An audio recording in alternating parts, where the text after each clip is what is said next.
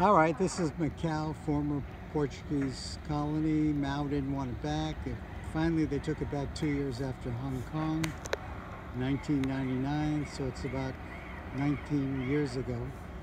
This is the fort that the Portuguese used to fight off the Dutch. I think it was like 1622 or something somewhere in there.